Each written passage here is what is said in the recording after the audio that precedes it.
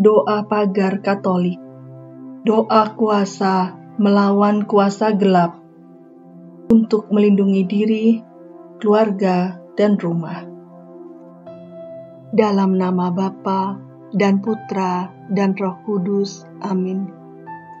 Aku percaya akan Allah, Bapa yang Maha Kuasa, Pencipta langit dan bumi, dan akan Yesus Kristus, Putranya yang tunggal Tuhan kita, yang dikandung dari Roh Kudus, dilahirkan oleh perawan Maria, yang menderita sengsara dalam pemerintahan Pontius Pilatus, disalibkan, wafat, dan dimakamkan, yang turun ke tempat penantian pada hari ketiga bangkit dari antara orang mati, yang naik ke surga, duduk di sebelah kanan Allah Bapa yang Maha Kuasa. Dari situ, ia akan datang mengadili orang hidup dan yang mati. Aku percaya akan roh kudus, gereja katolik yang kudus, persekutuan para kudus, pengampunan dosa, kebangkitan badan, kehidupan kekal. Amin. Allah yang Maha Rahim, aku menyesal atas dosa-dosaku aku sungguh patut engkau hukum, terutama karena aku telah tidak setia kepada engkau yang maha pengasih dan maha baik bagiku. Aku benci akan segala dosaku dan berjanji dengan pertolongan rahmatmu hendak memperbaiki hidupku dan tidak akan berbuat dosa lagi. Allah yang maha murah, ampunilah aku orang berdosa ini. Amin saya mengakui dan menyatakan bahwa Yesus adalah Tuhan atas segala peristiwa, keadaan, dan segala kesulitan hari ini. Dan aku, apabila aku ditinggikan dari bumi, aku akan menarik semua orang datang kepadaku. Injil Yohanes pasal 12 ayat 32 Dalam nama Tuhan Yesus Kristus, karena kekuatan dan kuasa darahnya yang tercurah di kayu salib yang diberikan kepadaku sebagai Katolik pengikut Kristus. Saya ikat dan tolak. Semua kuasa iblis Akartator, Stanus, Diapolos, Agor Legion, dan saya memerintahkan kamu setan untuk pergi tinggalkan tubuh, jiwa, dan rohku, anggota keluargaku, dan rumah ini dan saya materaikan seluruh ruangan di rumah ini, semua anggota keluargaku, dalam darah penebusan Tuhan Yesus Kristus.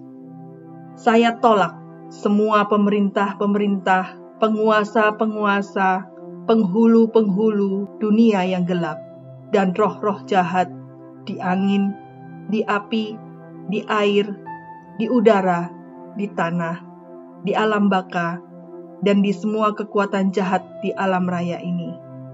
Saya patahkan dan hancurkan semua roh-roh teritorial di daerah ini. Kita sebutkan area lokasi tempat tinggal kita.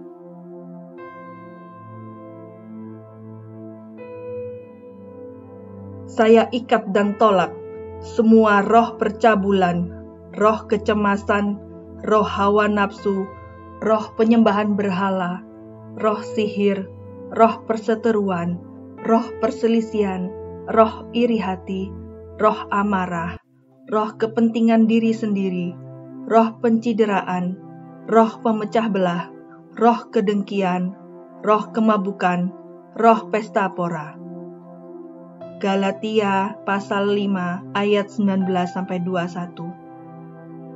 Akar-akar kepahitan, luka batin, roh kebencian, roh kemunafikan, roh kesombongan, roh keangkuhan, roh pengacau, roh penghancuran, roh kepahitan, roh ketakutan, roh ketidaktaatan, roh keragu-raguan, roh kebimbangan, roh pendusta, roh ketersinggungan, roh perjinahan, roh kemalasan, roh putus asa, roh depresi, dan roh bunuh diri saya ikat dan tolak semua segi penunjang roh-roh itu dari segala yang ada sangkut pautnya dengan roh-roh itu. Saya patahkan dan hancurkan segala ikatan dengan peramalan, ahli nujum, ahli gaib, penyembahan setan, dan penguasa setempat, petenung, dan segala permainan gelap. Saya patahkan dan hancurkan semua ikatan dengan dosa-dosa turunan dari nenek moyang atau orang lain di masa lampau atau sekarang yang menguasai diriku dengan cara yang berlawanan dengan kehendak Tuhan. Saya patahkan dan hancurkan segala kutukan-kutukan yang menimpa diriku. Saya patahkan dan hancurkan semua roh-roh jahat dan sakit penyakit yang dikirim orang kepadaku. Datanglah Roh Kudus dan penuhilah semua ruangan di rumah ini, dari ujung hingga ke ujung, dari bawah sampai ke atas. Santo Mikael, Santo Gabriel, Santo Rafael, dan semua malaikat agung yang kudus bersama Bunda Maria datanglah dan bertempurlah bersamaku. Terpujilah Tuhan Allah gunung batuku, tempatku berlindung, yang mengajar tanganku untuk bertempur dan jari-jariku untuk berperang. Engkaulah kota bentengku dan kubu pertahananku. Aku mohon bantuan dari semua malaikat kudus, penguasa kudus, jadilah perisaiku dan pertahananku melawan roh-roh jahat. Aku memohon semuanya ini di dalam nama Tuhan Yesus Kristus, dalam nama Roh Kudus, dengan kuasa sabdanya, dengan kuasa dan kekuatan darahnya yang suci, yang diberikan kepadaku sebagai Katolik pengikut Kristus. Amin.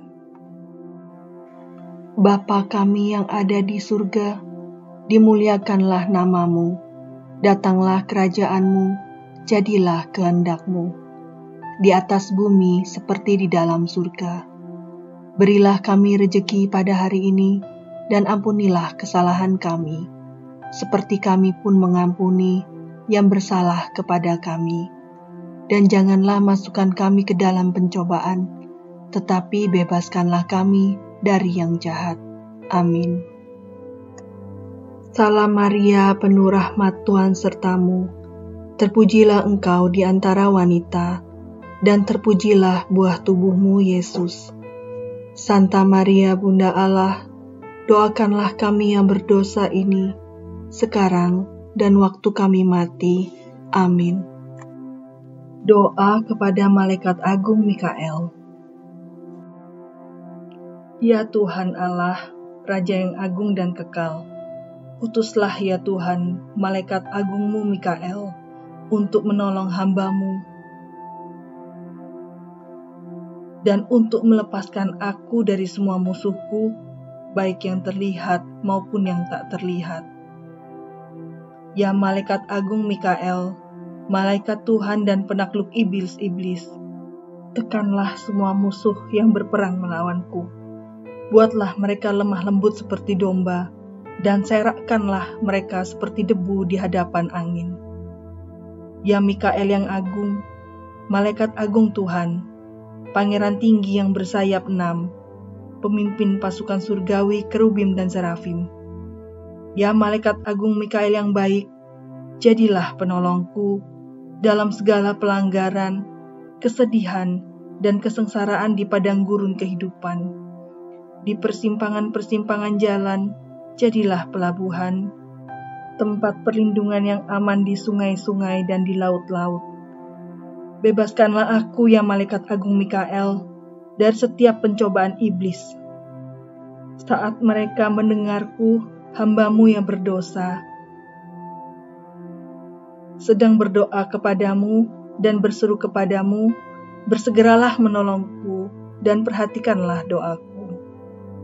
Ya malaikat agung Mikael, kalahkanlah semua lawanku dengan kuasa dari salib surgawi Tuhan yang kudus dan memberi hidup melalui doa-doa Theodokos tersuci dan para rasul kudus, Elia Nabi Allah yang kudus, Santo Nikolas pembuat mukjizat, Santo Andreas yang dianggap bodoh demi Kristus, para martir agung yang kudus, Nikitas dan Eustasius, para bapa kudus, para hierarki kudus, para martir kudus, dan seluruh pasukan surgawi.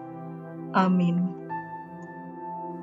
Kemuliaan kepada Bapa dan Putra dan Roh Kudus, seperti pada permulaan, sekarang, selalu, dan sepanjang segala abad. Amin. Terpujilah nama Yesus, Maria, dan Santo Yosef, sekarang dan selama-lamanya. Amin. Dalam nama Bapa dan Putra dan Roh Kudus. Amin.